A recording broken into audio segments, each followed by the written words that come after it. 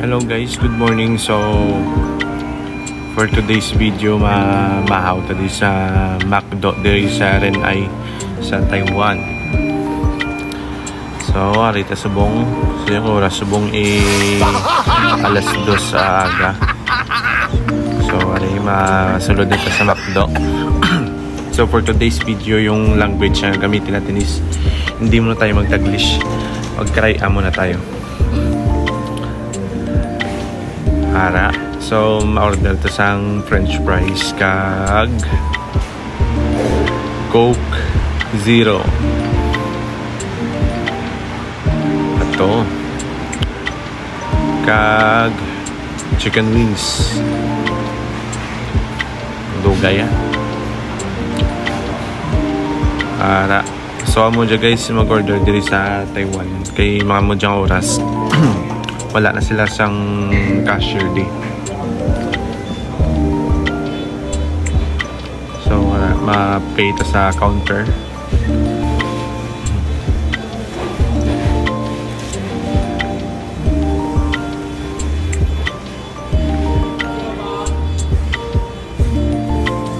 So, mo jaton nga number. Oh, haggard. Bago tapos sa ubra.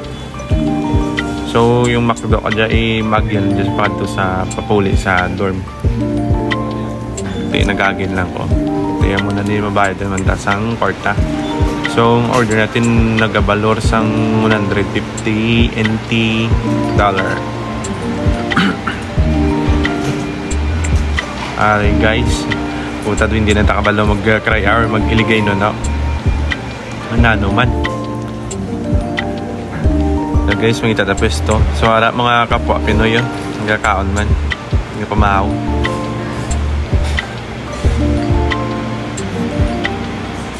Sorry guys, gawla ta guys ang order ta. Dugay. So pass forward naton. Sorry oh, gapa cute-cute ta oh. Hindi hindi madalang ilong ta. May punggod pa. Baw, tama ka, di malas. So, dyan guys, sa muna na guys, nagabot order ta. Yung number natin is Air Sansan 233. So, dyan guys, makaon na si Muja ko. So, nata nga papakon is yung french fries. Kanamit. Sabor niya do french fries, gid. Gamitan ta sang ilang uh, tomato sauce di sa McDo sa Taiwan. Ay, shit, kanamit. Mhm. Kananam. So, mo yung pisto, tagid ang cellphone ta side view kay parado, hindi mo galata yung ilong natin na pango. Semi pango pala. Hindi kayo mabaton nga para pa irong ko. Alright, guys. So, yung ginorder natin ng burger, kahamot kay fish fillet siya. Kwan siya, good for the heart. Mmm. Abaw, gindilapan pa. Wala ang etiket-etiket dya. Abaw. Wala uya ba? Hmm. Sora guys. Amo na yung kanya, yung tsura niya. Hmm, gindilapan pang dulo. Kanamit sang kulan. So, i-fast forward na guys. Wala. Tirada. Bangkay. Fast forward. Ara. Tirada. Mga taping mo may bibig mo. Mo lang yung bupa kuha ko. Oh. Taman kagutom. Kasi pang ngita-ngita pati mga ralantaon dyan guys. Mga tibsol o buli. Tibsol o buli. Tibsol o dugan. Wala. Ang galaw-galaw eh palak-palak ni mo gaan eh. Hmm. Birada. Importante yung imo irong nga anggal ah. Wala ka rin tiliag ah. Ito yung matingala pa mo guys nagagat ng bako sa Taiwan. Lantawa bala. Ang kaan lang kaan. Uh, work, work, work, eat, sleep, travel. Pirada ka na amit sang fish fillet daw.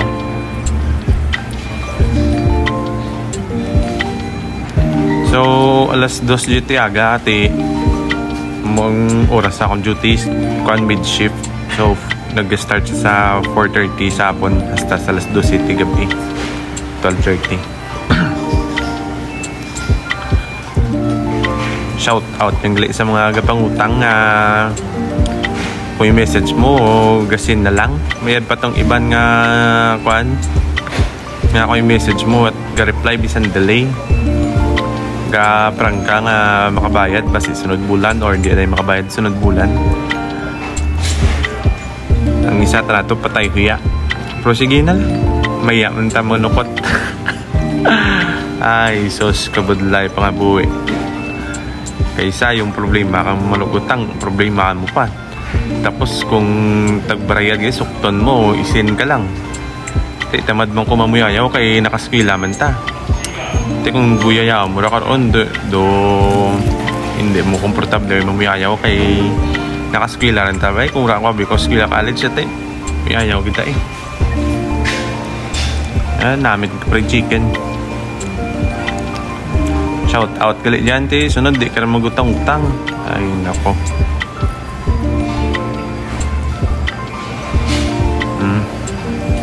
Nakaangan si Mujako. Gaduros-duros yung mata mo. Wala ka, gaduros-duros mata mo. Gago puta. Hmm. Ay, sos, kaluluwa yung pangako rin nagikuti pa nga.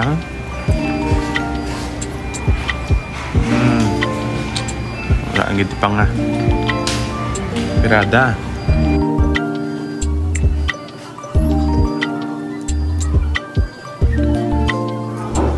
Right guys, eh, do kalay agad daw. I-forward tabi. Ano na? Bangkay.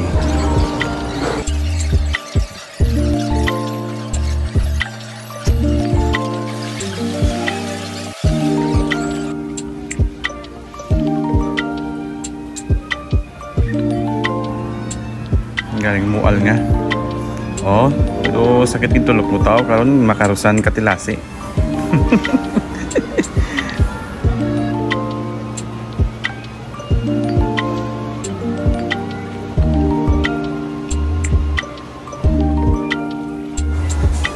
And guys, so naubos na natin yung one fried chicken, yung fried chicken.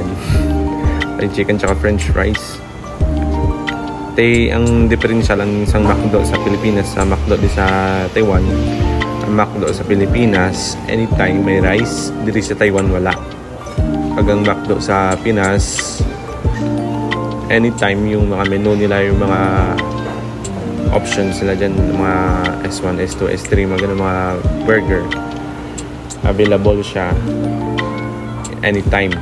Diri sa Taiwan. Parang pag umaga pag aga pa ng ilang uh, availability sa iba nila pagkaon. Uh, kagaya ng mga burger o ano mga 7 sa aga hindi na available. Yung gina-serve nila diri kwan mga uh, hot cake mga ganun. Mga kan mga may mga burger pero yung palaman itlog. Tapos may mga patty pero parang iba yung palaman niya. Parang hindi nakakabusog. So yan lang yung nakikita ko na difference dito sa McDo sa Taiwan. Plus wala sila ditong spaghetti. Eh, sa Pinas meron. Mas masarap yung McDo sa Pinas compare mo dito sa McDo sa Taiwan. Syempre understandable mo na ay diri sa Taiwan ang ilang mga recipe um, mostly mapa, ma, mapakla. Te do namin nakakiga-contribute na sa good health sa mga tao. So, mga tao diri mga fit hindi sila mga tambok. Gamay lang mga tambok di. So mula na guys. Hmm, alaga pa na yun na si Mojako ang busog na namin na nakaroon ng uragok kaya kay busog. Alright guys so hasta lang din yung live ko. Taglish po na taglish karay uh, iligay no na sigpo na mix ah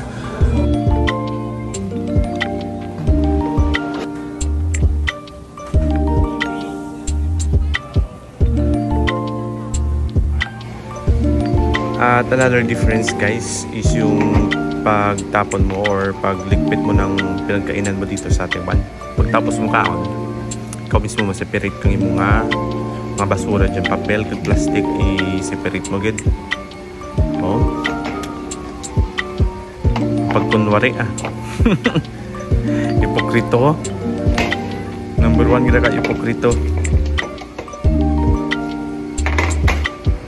Alright guys, so madamo yung salamat sa paglantaw sa video ko subong. So, hasta lang din. So, thank you again. And please follow my page. Alright, and good night.